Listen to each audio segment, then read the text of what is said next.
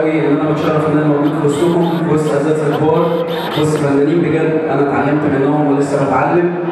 و لا هقول كده أحمد أسعد. ويا رب يا رب يا رب دايما دايما أشوفكم في مزيد من التكريمات وفن محترم اللي كلنا لأن جمهورنا يستحق مننا كده. سيبك الموضوع سيبك